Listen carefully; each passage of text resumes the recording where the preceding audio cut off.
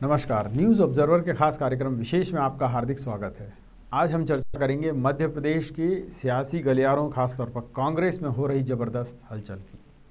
BJP पर यह आरोप लग रहे हैं कि उन्होंने कांग्रेस के विधायकों को तोड़ लिया है या फिर बंधक बना लिया है। वहीं दूसरी ओर कांग्रेस पर यह आरोप लगाए जा रहे हैं कि ये सब किया धरा इनकी आपसी लड़ाई है और वो भी, जिसको कहें राज्यसभा की सीट हथियाना है कुछ लोगों को, उसके लिए ये लड़ाई वर्चस्व की चल रही है और उसमें बीजेपी को बेवजह निशाना बनाया जा रहा है। पर क्या ये वाकई, जिसको कहा जाए, इतनी सीधी स्टोरी है, जिसे लेकर दर्शक ये मान लें कि हाँ सभी पक्ष सही कह रहे हैं। हालात तो इतने अजीबो गरीब हैं कि जो चाल चली गई, वो किसकी तरफ़ पास हुई है कहाँ फेल हुई है, इसे अब समझना बहुत ज़रूरी हो गया है। और इस चर्चा की आज हम शुरुआत करेंगे। और उसमें जो भाग लेंगे मेहमान, सबसे पहले उनका परिचय। बीजेपी से बीजेपी के वरिष्ठ नेता हैं शैलेंद्र प्रधान जी, पूर्व विधायक हैं। वो बीजेपी का पक्ष रखने के लिए इस परिचर्चा में मौजूद हैं।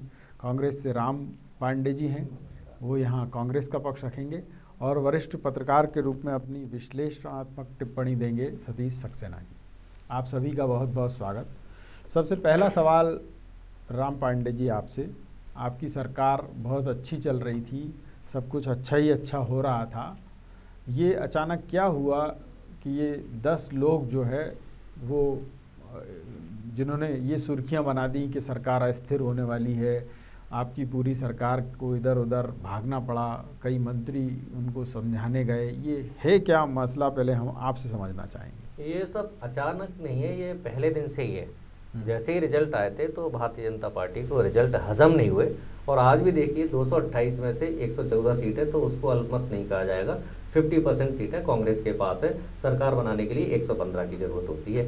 ठीक है तो जो बार बार अल्पमत बोला जाता है वो भी कांग्रेस के लिए गलत है और इन्होंने कई बार प्रयास किया।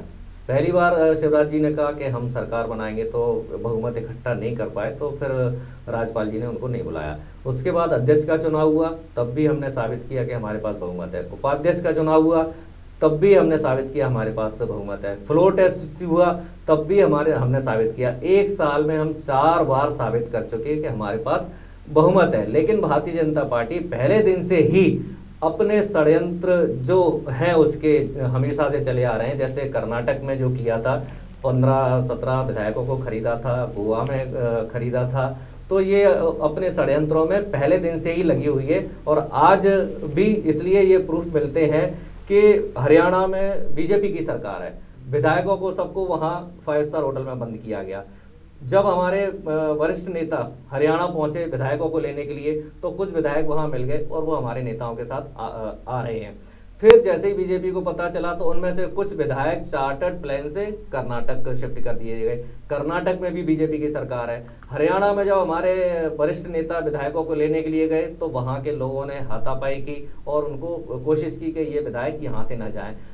नरोत्तम मिश्रा जी के वीडियो और ऑडियो वायरल चली रही है वो तो वीडियो नहीं नहीं सुन लीजिए पहले पहले रुकिए रुकिए। हम यहाँ नहीं नहीं यहाँ यहाँ एक बात मैं बता दूँ। तो जो सारे फर्जी नहीं नहीं सुनिए फर्जी सबूत का ज़िक्र इसलिए मत कीजिए कि साफ़ तौर पर ये बता दिया गया है ये आ भी गई है चीज़ सामने। कि जो आनंद राय का आप बात कर रहे हैं ये फर्जी वीडियो है और वो जी नहीं आया। अरे अरे आप वीडियो आया कैसे प्रूफ हो गया? आप कैसे कह सकते हैं कि ना मैं आपको बता रहा हूँ मैं आपको बता रहा हूँ। मैं भी नेता हूँ कौन कह रहा है कि फर्जी है ये? भाई जिसका वीडियो है वो ये बता रहा है और वो कह रहा बता कौन है इसमें नेता जिसको मैंने ब्लैकमेल किया? ऐसे कल को मैं आपका वीडियो दिखा दूँ किसी ब्लू फ़िल्म में मान लेंगे क्या जी मैं वीडियो मेरे पास है मैं जनता को भी दिखा सकता हूँ आपने हमने हम वही दिखा रहे हैं हम वो फर्जी दिखाई उस वीडियो हम फर्जी वीडियो सुन लीजिए। या असली है? सुन लीजिए जनता कैसे समझती है ये आपको भी पता है। ठीक है ना? जनता को समझ में आ जाता है आप मुझे आप मुझे ये बताइएगा कि ये फर्जी वीडियो एक सुनियोजित रणनीति के तहत सामने आता है। ये जो चार विधायक अभी तक आपके नहीं आए हैं अगर आप इंटेक्ट हैं आप कह रहे हैं कि हम बहुत अच्छा काम कर रहे हैं हमारे विधायक बिकाऊ नहीं है तो ये गए कैसे ऐसे चौदह पंद्रह देश में प्रधानमंत्री बिका हुआ है। अंबानी और आप प्रधानमंत्री बात मत करिए। आप क्या बात कर रहे हैं? विधायकों को खरीदना हमारे देश में चर्चा का चर्चा का स्तर कम से कम ऐसा मत करिए कि जिससे आपको लज्जित होना पड़े। जी जी मुझे लज्जित नहीं ऐसे नहीं नहीं गलत गलत बात देश जानता के प्रधानमंत्री गलत बात आज प्रधानमंत्री पांडे जी पांडे जी ये चर्चा बुद्धिजीवियों की होती है। यहाँ चंगू मंगू टाइप के लोग नहीं कर्नाटक में बैठते ठीक है? अरे कर्नाटक आपने खरीदे गए। सब करे, उसके बाद आप क्या हुआ? हार गए ना आप तो। जनता पार्टी ने खरीदे ना हार जीत से कुछ नहीं होता है। जीत तो रावण की भी होती थी। अरे भाई, साम्राज्य राम से बड़ा था लेकिन रावण राम के बराबर अब आप सुन लीजिए पांडे जी। अगर आपका भी रावण जैसा साम्राज्य है तो मैं ये पूछ रहा हूँ कि कहाँ है, चलेगा? चार पार्टी का हमारा राम जैसा है। छोटा साम्राज्य चलिए राम जैसा है तो राम जैसा है तो ये बाकी के चार क्यों भाग गए? भरत लक्ष्मण कहाँ चल दिए ये? अरे वही तो बोल रहा हूँ कि इन्होंने उनको बंधक बना के रखा है किडनैप करके रखा है अब आप आगे का सुन लीजिए। मोबाइल छीन लिए आगे का आगे का सवाल सुनिए। विवेक तनखा जी ये क्यों कह रहे हैं कि हमारे यहाँ लोगों में असंतोष तो है? जी। और अगर समय से ये असंतोष दूर कर लेते जी। कोई अध्यक्ष होता परमानेंट तो आज ये स्थिति न बनती। अरे तो क्या कहेंगे? नेताओं को कहने का अधिकार है। वो ये मतलब दो तरफ़ बातें क्यों कर रहे हैं हमारे यहाँ कहने का अधिकार है। क्या भारतीय जनता पार्टी असंतोष किसके क्या? असंतोष किसके यहाँ भारतीय जनता पार्टी में तो पता है ना अरे भाई साहब। के जज को हटा दिया जाता है सुप्रीम कोर्ट के जज को अरे यार आप जाता है आप विषय पे रहिए पांडे जी पांडे जी भारतीय जनता पार्टी में विषय पे रहिए विषय। पे रहिए मुझे इस सवाल का जवाब दीजिए कि विवेक तनखा ने ये कहा है कि असंतोष है। असंतोष है कि नहीं पहले तो ये बताइए। जी कोई असंतोष नहीं है।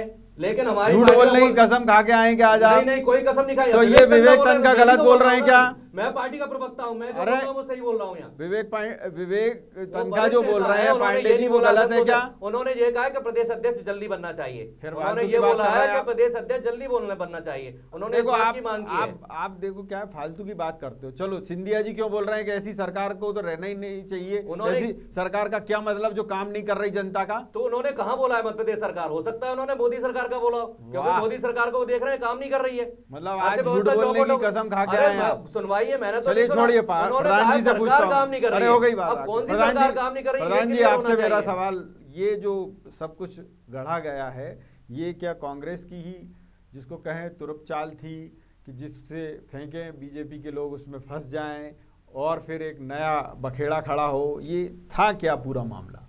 देखिए माननीय दिग्विजय सिंह जी संशय था उनके मन में कि शायद उनका टिकट राज्यसभा का फाइनल ना हो। तो इसलिए वो चिल्लाने लगे हुआ हुआ हुआ। आ, अब प्रॉब्लम ये है कि अगर माननीय कांग्रेस के विधायक वो एक वह है ना कि बेचारे नादान तो नहीं हैं। अब वो सीनियर हैं उनको आपने मंत्रिमंडल में लिया नहीं वो बार बार अपना विरोध अलग अलग बयानों में अलग अलग जगह पे दे चुके हैं। और उसके बाद भी उनकी अगर सुनवाई ना हो, उनकी सुनवाई क्या ना हो सिंधिया तक को कह दिया आप सड़क पर उतर जाओ। तो अब अगर माननीय मुख्यमंत्री जी अपने, पहले तो खबर ये थी कि तीन मुख्यमंत्री हैं, दिग्विजय सिंह जी, कमलनाथ जी और सिंधिया जी। अब एक को आप कह दो कि जो अगर उतरना तो उतर जाओ सड़क पर। तो आखिर कहीं ना कहीं आपको बैठ के अपनी समस्या का समाधान करना। आप के पी सिंह बहुत सीनियर विधायक रहे हैं। आपके बिसाहू लाल सिंह बहुत सीनियर विधायक हैं। हाँ लक्ष्मण सिंह हाँ। है। गाँव है बहुत से हैं तो। तो आखिर मैं ये नहीं कह रहा हूँ और आप कई फ़र्स्ट टाइमर सेकंड टाइमर को आपने सबको कैबिनेट मंत्री दे दिया।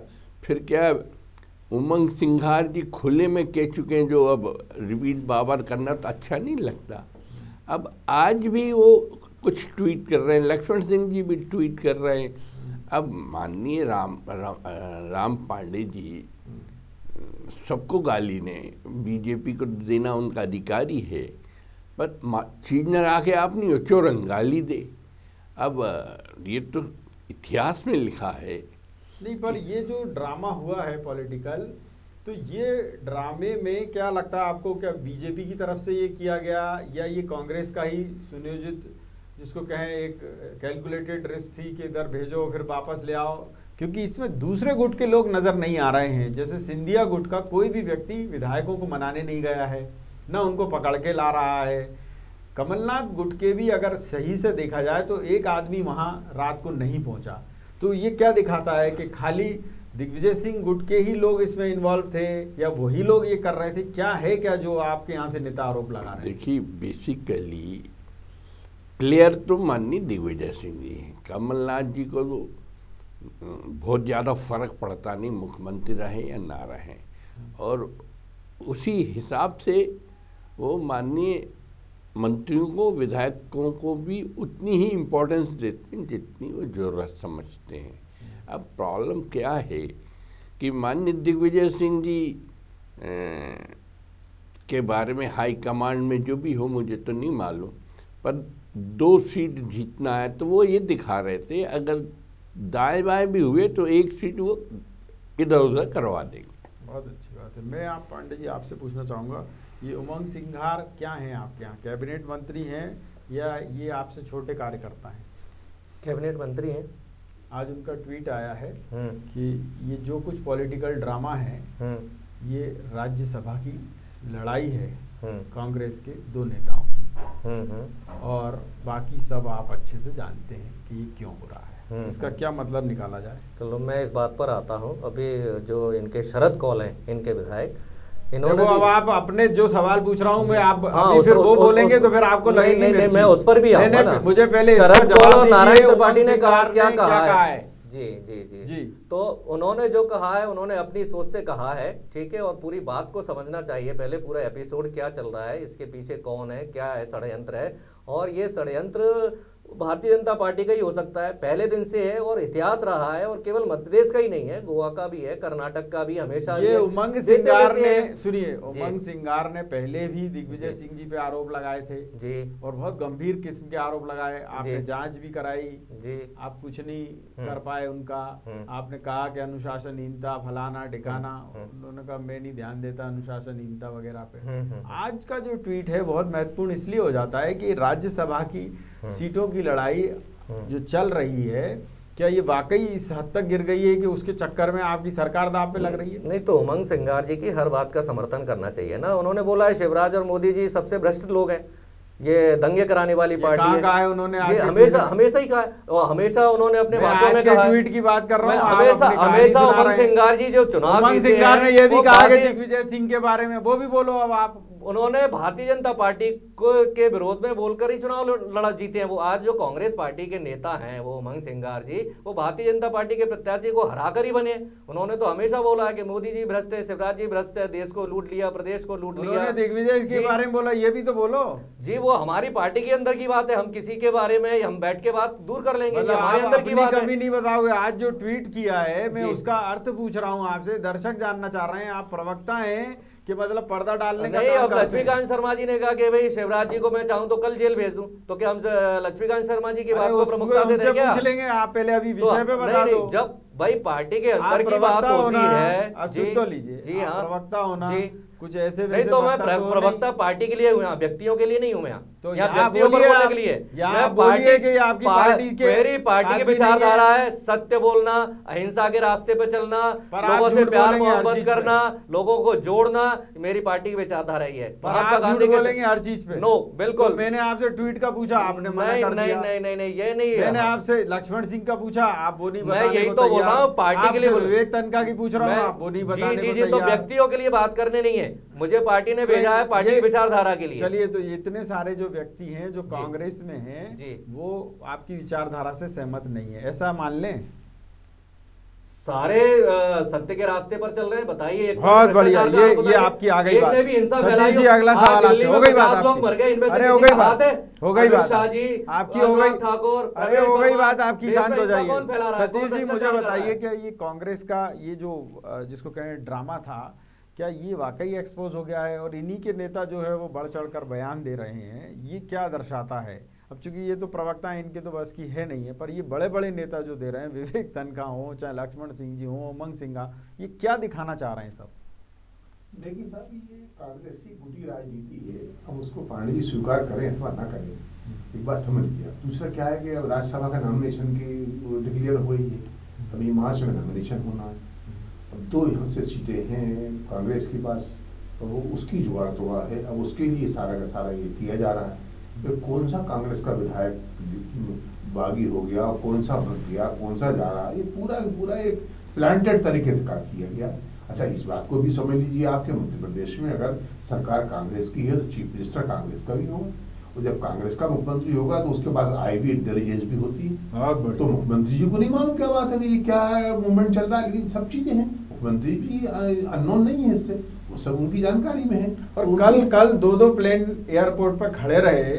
वो जो सब आम आदमी हमको दिखाई दे रहे थे तो उनको नहीं दिखाई दे रहे थे कि ये दो प्लेन किसके लिए आए हैं? और वो बीजेपी वाले कह रहे हैं हमने तो बुलाया ही नहीं है ये कौन ले जा रहा है इनको यही नहीं पता। बीजेपी देखिए बीजेपी पे अपन आरोप बीजेपी प्रतिपक्ष अपन आरोप लगाने को उस पर लगा सकते हैं लेकिन बीजेपी का मुझे बताइए अब कहाँ से इसमें कौन सा रोल है बीजेपी का?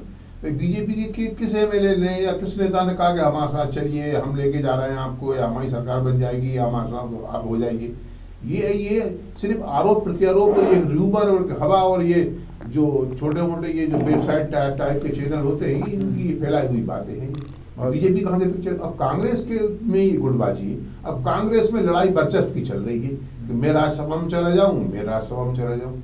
कुल मिला के ये है और उससे क्या है आम पब्लिक को और अधिकारी वर्ग को तमाम कल कल से सस्पेंस बना हुआ है सारा मध्य प्रदेश के अंदर। हम्म। अब सरकार गई तब सरकार गई। अभी एक चर्चा ये थी कि तीन बजे शायद मुख्यमंत्री जी चर्चा करेंगे मीडिया से। बाद में फिर वो उसका खंडन आ गया कि नहीं मुख्यमंत्री जी कोई चर्चा नहीं करेंगे वो दिल्ली जा रहे हैं। लेकिन नहीं हाई हाईकमान ने बुलाया आपको हम्म। ये जो पूरा है अपना आरोप जब लगा दें बीजेपी के ऊपर बीजेपी विवेक तनखा का ये जो बयान आया है कि साहब असंतोष है हमारे यहाँ और अगर हम सुनेंगे नहीं तो असंतोष बढ़ना तय है। उन्होंने ये भी कहा अगर अध्यक्ष होता परमानेंट तो शायद ये नौबत ना बनती। इसके पीछे क्या? देखिए विवेक तनखा जी ने पहली बार नहीं कहा है। विवेक तनखा जी अकेले नेता हैं जिन्होंने नहीं कहा बता दूँ। ये बात जो है ये लक्ष्मण सिंह जी ने भी कही। ये बात उमंग सिंगार जी ने भी कही। ये बात विवेक तनखा जी ने भी कही। और ये बात बाबरिया जी ने भी कही। बात समझ लीजिए। हम्म। बाबरिया जी ने इस बात को स्वीकार किया कि हाँ कार्यकर्ताओं में असंतोष है। अब कार्यकर्ताओं में असंतोष से अपन क्या भावार्थ निकालेंगे? असंतोष भाई संतुष्ट होना चाहिए कार्यकर्ताओं हम्म। या तो ये हो सकता है कि उनकी जो मांग है या उनकी जो डिमांड है वो पूरी नहीं हो रही है या कार्यकर्ताओं के मन के हिसाब से काम नहीं हो रहा है। हम्म। इसको अपन इन नेताओं की ये जो बात है अब कांग्रेस में तो देखिए क्या है कांग्रेस कोई केडर बेस तो है नहीं कांग्रेस में तो सब नेता लोग रहते हैं कार्यकर्ता तो वहाँ कम होते हैं और वो सब स्वतंत्र नेता है कोई भी कुछ और यहाँ ये भी हम समझना चाहेंगे दर्शक भी जानना चाहेंगे कि ये जो लापता हुए हैं लोग उसमें दूसरे गुटों के लोग नहीं हैं। ज़्यादातर वो लोग हैं जो दिग्विजय सिंह समर्थक हैं। और अगर दिग्विजय सिंह जी की मध्य प्रदेश सरकार में चल रही है तो ये किडनैप कैसे हो जाएँगे सबके सब ये सवाल नहीं होता था। देखिए किडनैप एक किडनैप होना एक आप, आप मेरे समझ लीजिए। इस शब्द को समझिए इसका भावार्थ को समझिए और इसकी गंभीरता को समझिए आप। किडनैप का मतलब होता है अंग्रेज़ी शब्द है उसका हिंदी अगर कहेंगे अपहरण हम्म, अपहरण अपने यहाँ भोपाल मध्य प्रदेश में आईपीसी इंडियन पिनल कोड है। अगर किसी बच्ची का भी अपहरण होता है तो उसकी एफ़ आई आर होती है। बिल्कुल एफ़ आई आर होती है और पुलिस उसमें एक्शन में आ जाती है। और अपने यहाँ तमाम सारी व्यवस्था है अपने यहाँ। ऐसी नहीं है सरकार के पास व्यवस्था नहीं है। तो ये कह देना कि कितने चार चार एम एल हो गए जिनको कि आम जनता ने चुन के भेजा विधानसभा के लिए। तो, तो लाखों की संख्या में लोग चुनते हैं मतदान करते हैं। तो मतदाताओं ने जिनको चुन के भेजा उनका अपहरण हो जाए और राज्य सरकार जो है वो अपने घर में सोती रहे और वो स्टेट की सीमा से बाहर निकल जाए ये चीज़ थोड़ा गले उतरने वाली बातें नहीं है। अब हो सकता है अपनी स्वेच्छा से इच्छा से गए हों या एक प्लान के तहत ये काम हो रहा हो या हो सकता है कि हाई कमान पे प्रेशर बनाने के लिए सब किया जा रहा हो। ये एक बात और निकल कर आ रही कि जो असंतुष्ट हैं जो बात विवेक तनखा जी कह रहे हैं सिंधिया जी ने भी कहा कि ऐसी सरकार का कोई मतलब नहीं जो जनता के काम नहीं कर रही है। अब मैं ये जानना चाह रहा हूँ कि अगर ये सुगबुगाहट चल रही हो कि साहब मंत्रिमंडल का विस्तार होना है। अभी 28 तो है ही मौजूदा छः और आप ऐड कर सकते हैं। तो अगर ये छः ऐड हो गए, उसके बाद आपको लगता है कि असंतोष शांत हो जाएगा, कि और बढ़ेगा, क्योंकि छः से तो संख्या लगभग दुगनी है। नहीं असंतोष तो वो शांत नहीं होगा।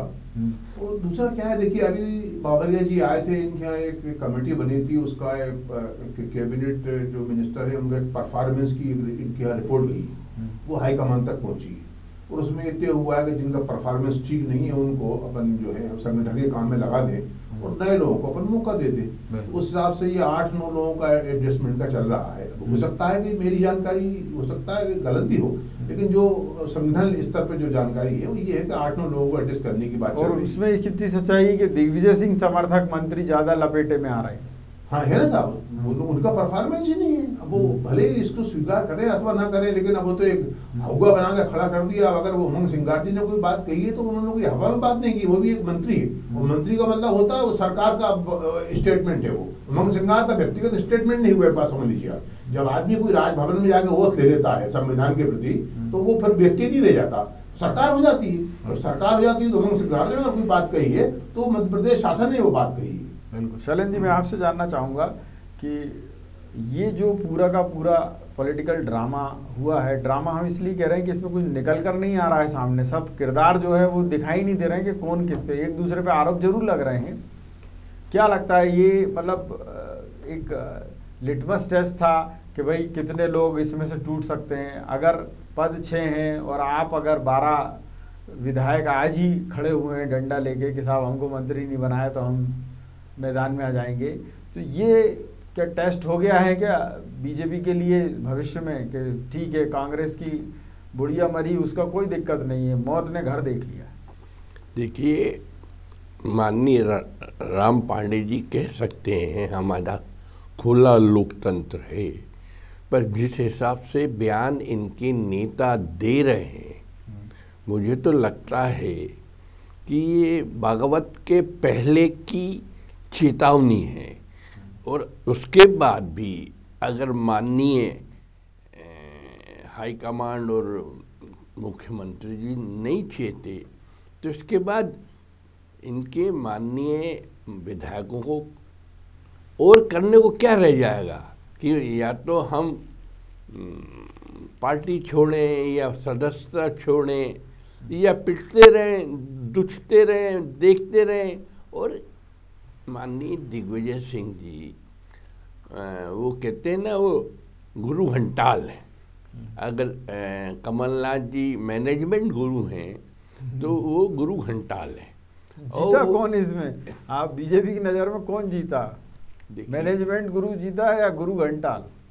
देखिए अभी तो खेल खत्म तो हुआ नहीं। अगर कमलनाथ जी अपने बिना आवाज़ किए बिना कमेंट्स दिए और निरंतर अपन बने रहते हैं तो निश्चित ही मैनेजमेंट गुरु जीता हुआ कहलाएगा। हम्म, बहुत बढ़िया। यहाँ मैं आपसे पूछना चाहूँगा पांडे जी कि ये जो ड्रामा चला उसमें एक चीज़ और निकल कर आई सामने कि कमलनाथ जी ने खुद स्वीकार किया पहले कि हमारे विधायकों को खरीदने की कोशिश की जा रही है। उन्होंने ये तक कहा कि पैसे मिले तो ले लेना फोकट का पैसा है। देखिए कितने कि, सवाल तो सुन लीजिए। हम्म। कितने पैसे मिल गए? देखिए जो ड्रामा वाली बात है वो भारतीय जनता पार्टी दूसरों के ऊपर थोप देती है और भारतीय जनता पार्टी मैंने सवाल ये नहीं पूछा आपसे। यही है। मैंने सवाल ये नहीं नहीं पहले पहले भारतीय जनता पार्टी के ड्रामे की बात करेंगे। आप जो ड्रामा भारतीय जनता पार्टी आप यहाँ पर पहले तो ये स्पष्ट कर दीजिए कि आप जवाब देने आए हैं या आप कुछ भी मुख्यमंत्री के उनमें दावेदार हैं। शिवराज सिंह चौहान मैं आपसे क्या पूछ रहा हूँ? जी।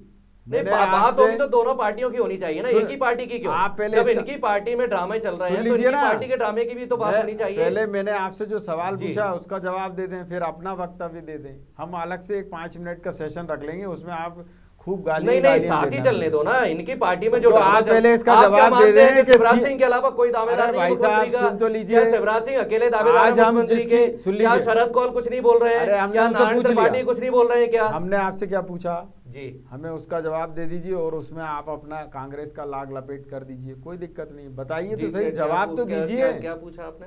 मैंने ये पूछा हम्म। कि कमलनाथ जी ये कह रहे हैं हम्म। कि हमारे पास भी जानकारी आई है हमने विधायक कह दिया फोकट का पैसा है मिले तो ले लेना। हम्म, ये उन्होंने कहा है। हम्म। मैं ये जानना चाह रहा हूँ कितना पैसा मिल गया। मैं तो ये मानता हूँ ये सब कुछ हो रहा है जो खरीद फरोख्त हो रही है ये देश के लिए गलत है। ये मेरी आपसे क्या कह रहा हूँ ये देश के लिए गलत है भ्रष्टाचार देश के लिए गलत है। देना और लेना दोनों तो ही एक मुख्यमंत्री हिमायत कर रहा है कि ले लेना। जी भ्रष्टाचार गलत है चाहे लिया जाए जाए चाहे दिया जाए। तो कमलनाथ जी गलत बोल रहे हैं। लक्ष्मण ने कैमरे के सामने इनके राष्ट्रीय ने पैसा लिया था। भाई साहब, वो गलत था। कमलनाथ जी गलत बोल रहे जो हैं। विधायक खरीदे गए थे वो गलत था। कमलनाथ जी गलत बोल भ्रष्टाचार रहे का हैं। समर्थन नहीं करता हूँ किसी भी कीमत में। पैसा कमलनाथ जी का करते हैं पैसा देना और लेना दोनों ही भ्रष्टाचार में आता है। देश के अंदर भ्रष्टाचार खत्म होना कमलनाथ जी चाहिए। का समर्थन करते हैं देश के अंदर मैं तो ये जानना चाहता हूँ भारतीय जनता पार्टी के पास वो तो पैंतीस करोड़ कहाँ से आया? साढ़े तीन सौ करोड़ दस विधायकों को देने के लिए पैसा कहाँ से आया? जब मोदी जी कहते हैं आपने बहुत अच्छी बात कही है। नोटबंदी से प्रदेश अध्यक्ष के खिलाफ भी आपने जो तो बात कही है। आपने प्रदेश अध्यक्ष कमलनाथ जी खिलाफ जो बात कही है मैं उसके लिए आपको साधु मैं कह रहा हूँ भ्रष्टाचार नहीं होना चाहिए देना और जी आपसे भ्रष्टाचार है। शैलेंद्र जी आपसे यही सवाल। पैंतीस पैंतीस करोड़ रुपए देने की बात थी। मुख्यमंत्री कह चुके हैं कि हाँ भाई, मिले तो ले लो भाई तुम तो।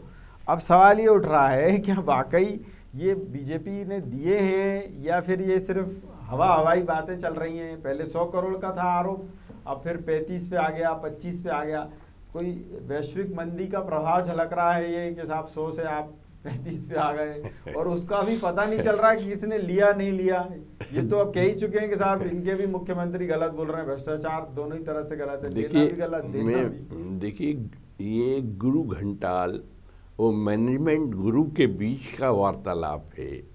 इन दोनों के ही बयान हैं।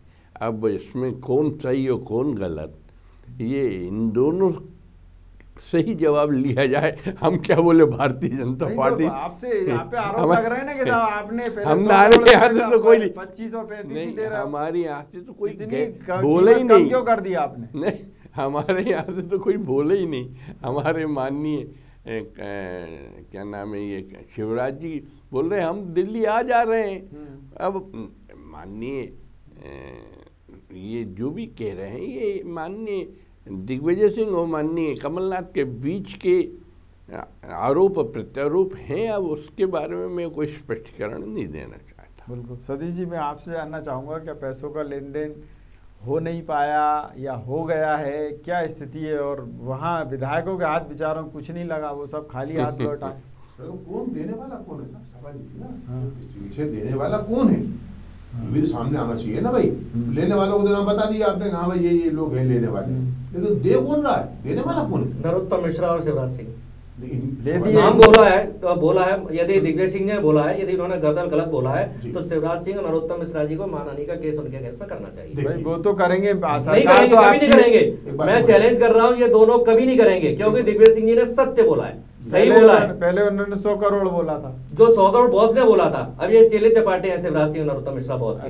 पहले बॉस की औकात सौ करोड़ की थी इसलिए बॉस ने सौ करोड़ बोला था। उन्होंने कहा था ना बॉस बोलेंगे तो सरकार गिरा देंगे। पहले बहुत बॉस आदेश दे रहे थे। अब चेले चपाटे हैं। मतलब- पच्चीस से पैंतीस करोड़ के बीच में इसका मतलब ये हुआ की कांग्रेस के विधायक बिक सकते। हैं कहना चाह रहे हैं अरे प्रधानमंत्री बिक सकता है हमारे देश में। आप प्रधानमंत्री को खरीद लिया गया है। आप कांग्रेस के विधायकों की बात कर रहे हैं।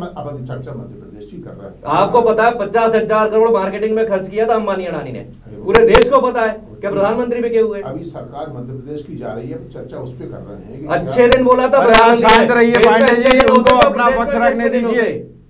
आप उनको अपना पक्ष रखने पंडित जी निवेदन ये है आपसे कि देखिए अब हम किसी बात को ज़ोर से कहेंगे तो भी वो चीज़ आएगी और धीरे से कहेंगे तो भी वो चीज़ आएगी।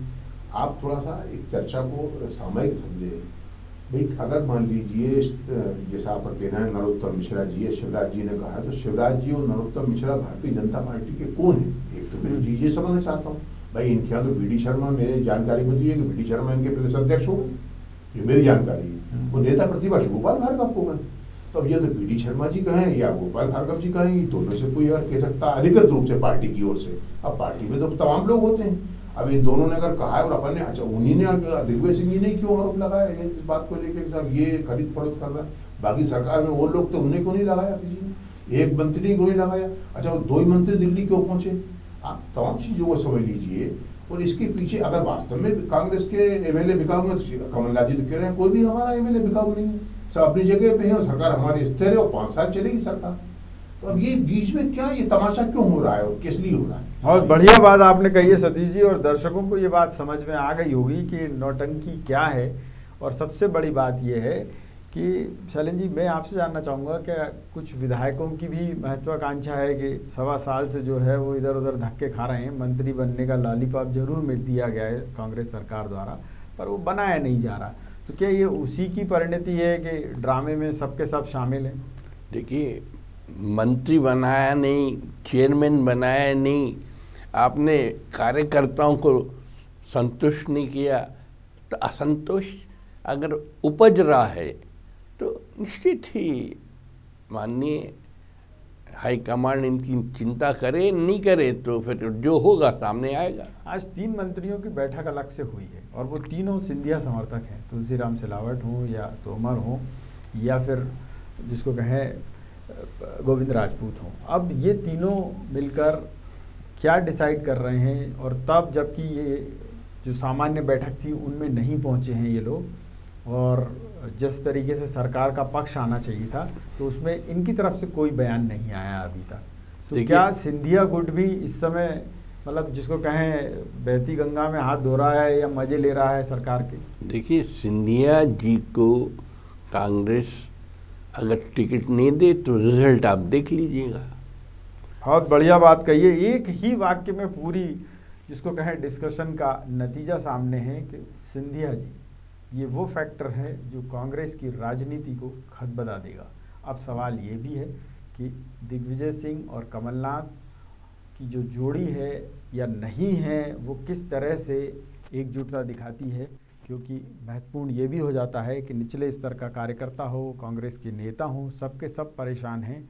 सवा साल में किसी को कुछ नहीं मिला। और जैसे पंद्रह साल वो बीजेपी में आंदोलन कर रहे थे, वैसी ही हालत उनकी अभी है। न्यूज़ ऑब्जर्वर के खास कार्यक्रम विशेष में इतना ही, लेकिन यहाँ विवाह खबरें निरंतर जारी रहेंगी। आप देखते रहिए न्यूज़ ऑब्जर्वर। न्यूज़ ऑब्जर्वर यानी सिर्फ़ खबर।